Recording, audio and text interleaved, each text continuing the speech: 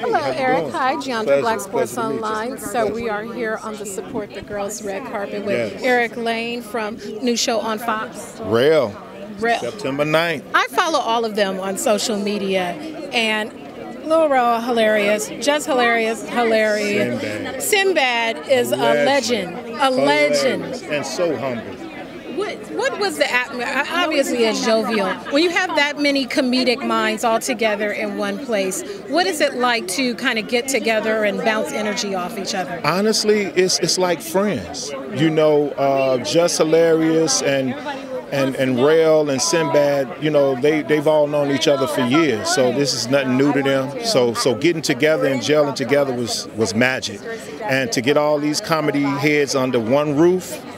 You guys are going to be blown away. Fox is Fox got something amazing. I'm looking forward to it because I've, I've loved all their work individually, and you are new to me. What can you tell us about your character on the show? Oh well, I, I definitely want to keep it a secret, but let's just say this first episode, the pilot, is going to be great. It's going to be amazing. Yeah, y'all going y'all gonna love my character. He's, he's basically the character you love to hate. So we are here at the Support the Girls red carpet with the, the girls. That's let here. support the girls. How do you best support the girls? What's a daily act of supporting the girls that you like to do?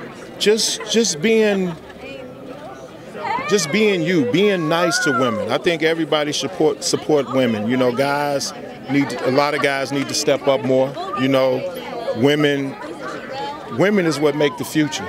Women is what make the world go round.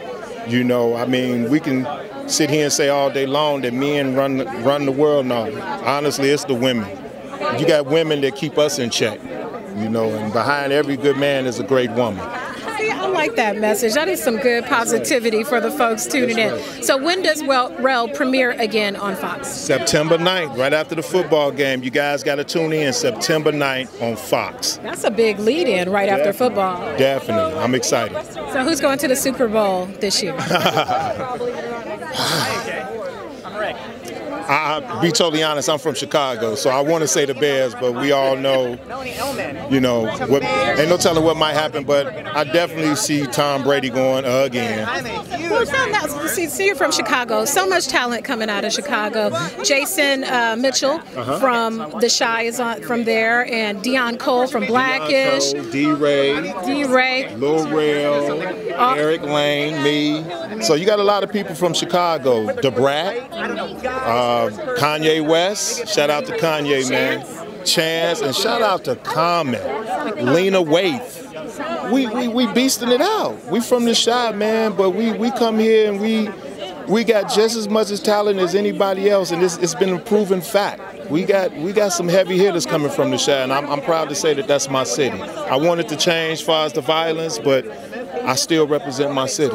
You got to, you got to represent your city. right. Well, thank you and stopping to talk. Thank I'm you so definitely going to watch that. Get, send some love the to the. Chi. Support the girls. Always support the girls. Thank you.